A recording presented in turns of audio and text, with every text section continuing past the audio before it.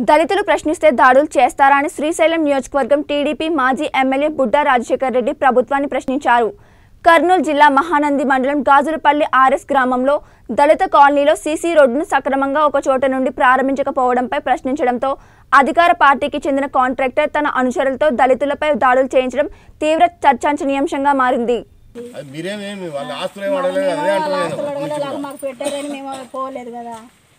మా మీద దౌర్జన్యం వచ్చి ఈ కొట్టి రోడ్లన్నీ నేను శాంక్షన్ చేసేటి మళ్ళీ అన్ని క్యాన్సిల్ చేసి పాపం మళ్ళీ మళ్ళీ మేము తెచ్చామని చెప్తారు. ఈ ఊరికి అంతా నేను ఇచ్చినది అప్పుడు. మేము ఏం అడుగుతున్నాం సార్? ప్రమాణాలు మనం రాసినవి ఆ. పాత బిల్ల పెట్టి ఇప్పుడు చేపిస్తున్నారు. ఇది గోపారంలోకి పెట్టి ఇది కూడా. తీర్మానం రాపించింది ఎలక్షన్ల ముందర ముందర తెచ్చినాడు ఫండ్స్ మళ్ళీ ఏం చేసినంటే వాళ్ళు ఖాళీగా ఏమన్నా ప్లే- తీర్మానంలో ఖాళీ ప్లేస్లు ఉంటే దాన్ని మెన్షన్ చేసిన అని నిన్న వీడు అన్ని ఇంటి మార్కు ఖాళీ దాన్ని రాసుకోకుండా. సరే వాళ్ళని అయితే అరెస్ట్ చేసిన దానికి వదిలిపెట్టాలేమో? నేను డిఎస్పీ గారితో కూడా మాట్లాడతాను. ఎస్పీ గారిని కూడా కలుస్తా. మిమ్మల్ని కూడా మిమ్మల్ని కూడా పిలుచుకొని పోతా ఎస్పీ గారి దగ్గర ఎందుకంటే వీళ్ళ ఊరోడు ఒకడు ఎక్కువ ఈ కేసులు అదే పనిగా ఉండి తిరుగుతున్నాడు కదా వాని కథ కూడా చూద్దాం ఒకసారి.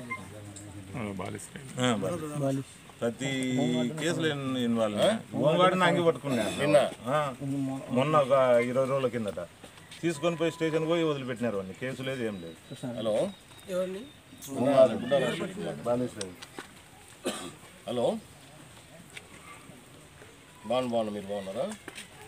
అదే ఇక ఆర్ఎస్ ఆ ఊరు నుంచి మనుషులు తీసుకొచ్చి ఆ ఊరు నుంచి ఎస్సీలు తీసుకొచ్చి ఏమనంటే ఎస్సీలు ఎస్సీల కింద పోతుంది కదా కేసు వేరే వానికి రాదు కదా అని. అది తప్పకుండా వాళ్ళని అరెస్ట్ చేయండి? వాళ్ళు ఇమ్మీడియట్గా అరెస్ట్ చేస్తే వాళ్ళకు వీళ్ళకి ధైర్యం ఉంటుంది. లేకపోతే వీళ్ళంగా భయపడే పరిస్థితికి వస్తారు ఊళ్ళో ఊర్లోకి వచ్చాక మళ్ళీ మీ కథ చూస్తాను మళ్ళీ బెదిరిస్తారట అది? ఓకేనా? అదేమ్మా? ఒక రెండు రోజులు మనం కూడా వాళ్ళకు టైం ఇవ్వాలా చూద్దాం. కాకపోతే ఇప్పుడు ఎస్పీ గారి దగ్గరికి మిమ్మల్ని పిలుచుకొని పోతా అంటున్నా.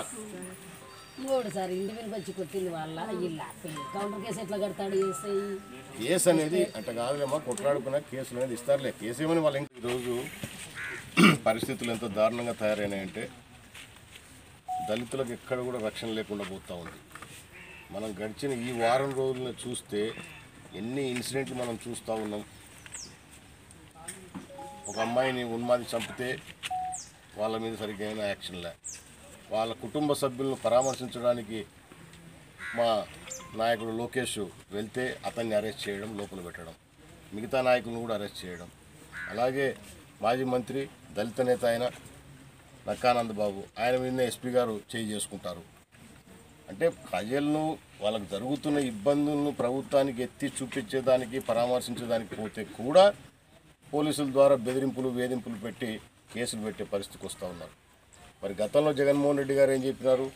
ఏ ఆడకూతురు మీదైనా కూడా ఎటువంటి దారుణం చేసినా కూడా కాల్చి పడేయాల వాళ్ళని చెప్పిన పెద్ద మంచి మళ్ళీ ఈరోజు ఏ ఒక్కరిని కూడా పట్టించుకునే పాపాను పోవడంలే పైగా ఎవరన్నా ప్రతిపక్ష పార్టీలో లేకపోతే ఇంకెవరన్నా పరామర్శిద్దామంటే కూడా రివర్స్ వీళ్ళ మీదనే కేసులు పెట్టే పరిస్థితికి వస్తూ ఉన్నారంటే ఇంత దారుణంగా ఉంది. ఈరోజు శ్రీశైలం నియోజకవర్గంలో ఈ ఆర్ఎస్ గాజులపల్లె కొత్తగా గ్రామ పంచాయతీ ఏర్పడిన గ్రామంలో మనకందరికి కూడా తెలుసు ఈ రోడ్లు వాస్తవం గతంలో తెలుగుదేశం పార్టీ అధికారంలో ఉన్నప్పుడు మేమే శాంక్షన్ ఇచ్చాం నేను ఎమ్మెల్యేగా ఉన్నప్పుడు. సరే పనులు మొదలుపెట్టే టైంలో ఎలక్షన్లు రావడం కోడ్ రావడం పనులు ఆగిపోయినాయి. దాని తర్వాత వీళ్ళు అధికారంలోకి వచ్చిన తర్వాత అదే పనులు వీళ్ళు చేపడతా ఉన్నారు. వీళ్ళు కొత్తగా శాంక్షన్లు ఇచ్చింది ఏం లేదు. మరి ఈరోజు ఈ దళిత కుటుంబాలు చివరన ఉన్నాయి. ఇక్కడ చూస్తే కూడా అంత పొలాలు చెట్లు చూస్తే వాళ్ళ పరిస్థితి కూడా నడిచేదానికి కూడా ముసలోళ్ళు ఉన్నా ఇంకొకరు ఉన్నా ఇబ్బంది ఉండే పరిస్థితి. మరి ఈరోజు చివరి నుంచి వేయండి ఇక్కడ రోడ్డు ఇక్కడ నుంచి వేయండి అంటే మీకు దళితకు మీకు చేసేదే లేదు. మీరు ఏం చేసుకుంటారో చేసుకోరని చెప్పేసి అంటే ఇక్కడ ఉండేది ఒక ఎనిమిది మాదిగ కుటుంబాలు ఉన్నాయి మాదిగ కమ్యూనిటీకి చెందిన వాళ్ళు.